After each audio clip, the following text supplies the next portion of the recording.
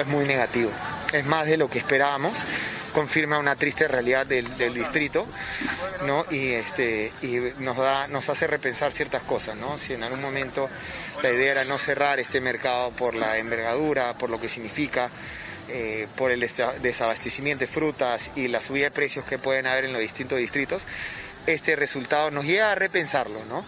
Entonces ya es algo que se va a conversar con los diferentes ministros para saber qué solución se le, se le da a este, a este problema. ¿Se habla del 79%? ¿Está correcto?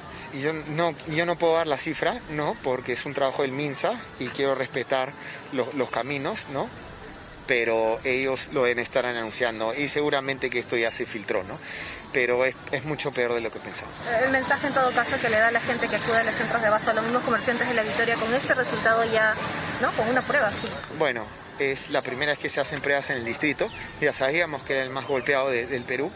Eh, definitivamente recomendar ahorita a, a toda la población, a todos los peruanos, no vengan ahorita al mercado de frutas no hay por qué arriesgarse, no es el momento tampoco a la parada, ¿no? Eh, a los comerciantes eh, que las medidas que se toman no es por, por hacerle daño a ellos, sino por, por este, salvaguardar a todos los peruanos, ¿no?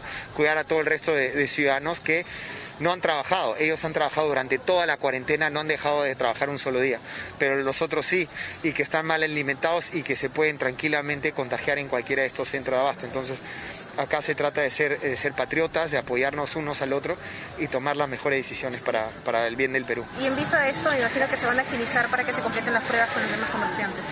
Bueno, es, es, la idea definitivamente, vuelvo a decirlo, este resultado tan negativo lleva a repensar ciertas cosas, ¿no? Pero, pero si es que se mantiene abierto el mercado, definitivamente tienen que pasar las pruebas todos y dejar exclusivamente a los que no, no están contagiados en el mercado.